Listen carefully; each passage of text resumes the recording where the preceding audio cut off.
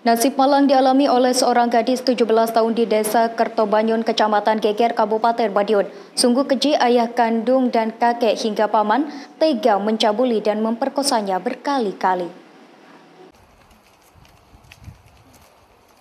Kembang nama samaran gadis yang masih berusia 17 tahun warga desa Kertobanyon, Kecamatan Geger, Kabupaten Madiun, diduga dicabuli hingga diperkosa oleh tiga orang laki-laki yang masih satu keluarga.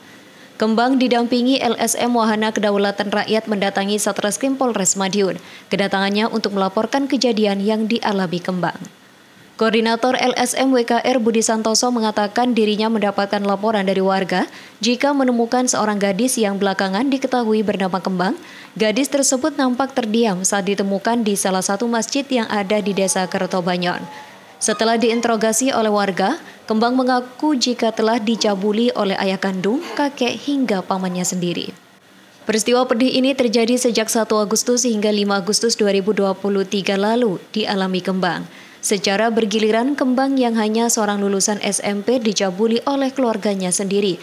Lantaran merasa tidak tahan, Kembang memilih melarikan diri dan bertahan hidup secara berpindah-pindah tempat. Selama ini Kembang tinggal serumah bersama keluarga dari ayah kandungnya, lantaran ibu korban telah menikah lagi sejak Kembang dilahirkan. Atas kejadian tersebut, Budi berharap kepolisian dapat menindaklanjuti laporan tersebut. Tidur siang itu yang pertama kali yang melakukan adalah mbakungnya. Kemudian pada malam harinya itu gantian Pak Leknya sekitar jam 9 sampai setengah 10 kemudian subuhnya gantian bapaknya. Dan itu dilakukan terus sampai selama lima hari mulai tanggal 1 sampai tanggal 5 Agustus.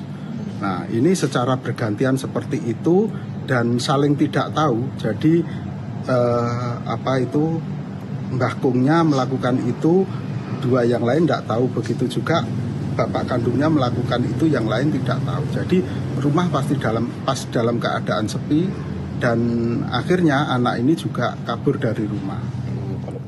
Setelah memberikan keterangan ke penyidik Satreskrim, selanjutnya Kembang dibawa ke RSUD Dolopo guna menjalani visum.